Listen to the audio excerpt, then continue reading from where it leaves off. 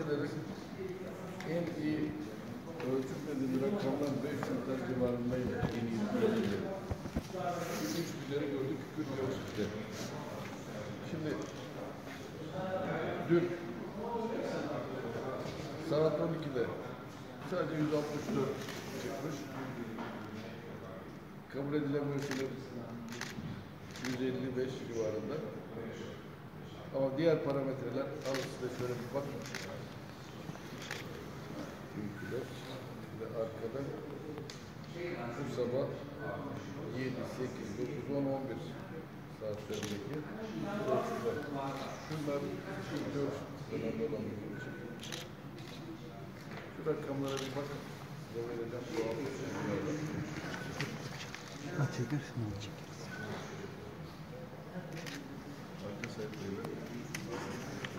Çekerim onu çekip onu.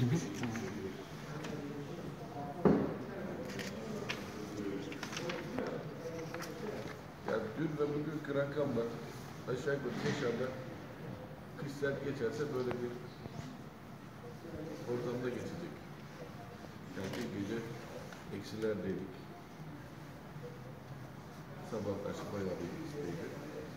Bu rakamları incelerseniz çok ciddi bir hava kirliliğinde düşüş var.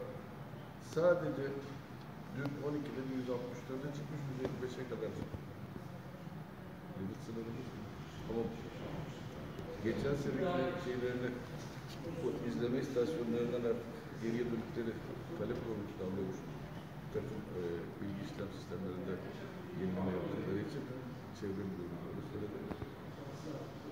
Keşke 2016 kişinin bu aylardaki buradaki değerlerine ulaşabilsek Türkiye hatırlıyorum.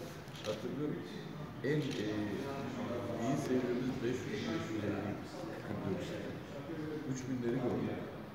Ama bu doğalgazın ne kadar bizim şeye çekti ama e, Keşan'ın havasında ne kadar bir düzelmeye sebep olduğunu ciddi bir kanıt. Kimse bilmeden, belgesinde konuşmadan üfleyip durmasın.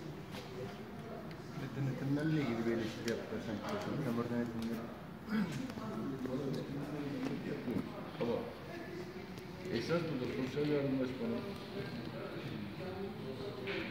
3 yıldır Keşan'da satılabilen kömür kriterlerine uymadan sen 6 bin ton kömür kirletiyorsun. 6 bin ton. Yoksul vatandaşı üreten. Kötü kalite. E bunların da hiçbir etkisi olmuyor. En azından şu 164'lük gibi 2 yıl olmasa bu parametreler yüzde